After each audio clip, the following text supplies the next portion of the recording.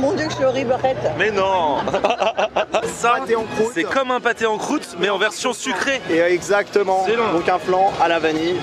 Et Mercotte, vous avez vu ce qu'ils ont fait Un pâté en croûte flan. Ah ouais, non, pâté en croûte flan, c'est original. Ah ouais Ils savent faire le flan, ils savent faire la croûte, forcément. Ils savent faire le flan pâté en croûte.